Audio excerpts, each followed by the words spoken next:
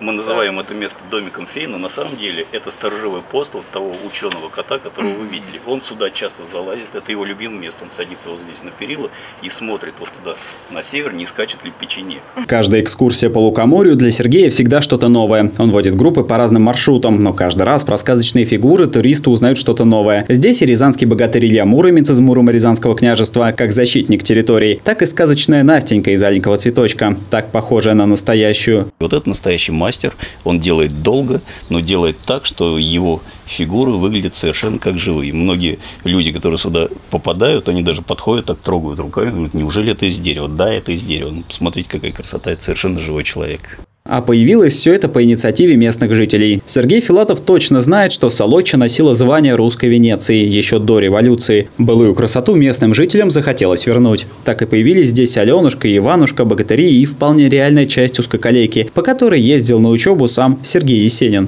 Люди называют это место музеем, но всегда надо как-то назвать какое-то новое явление, которое ты видишь. Люди назвали музеем. Мы это музеем никогда не называли, но если людям это нравится, такое название. Это не музей в том смысле, что здесь нет какой-то мумифицированной истории или какой-то постоянной экспозиции. Это место живое, мы его все время преобразовываем, меняем. Свою роль в появлении экскурсии сыграла и пандемия. Недалеко расположен госпиталь ветеранов войн, и на прогулке люди как-то раз забрели сюда, в сказочное место место. Стали расспрашивать Сергея, у которого тут офис. Мужчина провел посетителям небольшую экскурсию. Потом люди стали приходить чаще. Групп появилось так много, что пришлось повесить расписание экскурсий. Каждая проходит по своему уникальному маршруту, где сказка соприкасается с реальностью.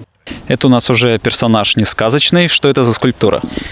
Это медведь, символ России, символ Руси заповедной.